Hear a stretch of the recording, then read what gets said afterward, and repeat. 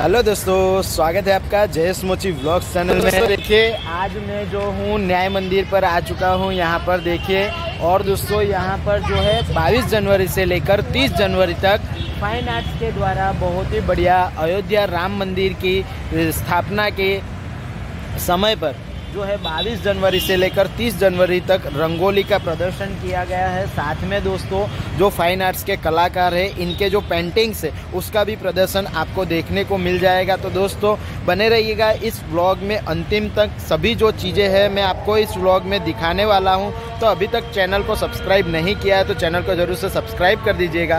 Bell icon को all पे hit करके रखिएगा, ताकि ऐसे इंटरेस्टिंग और इन्फॉर्मेटिव व्लॉग आपसे बिल्कुल भी मिस ना हो। तो चलिए मेरे साथ, मैं आपको रंगोली का पूरा प्रदर्शन दिखाता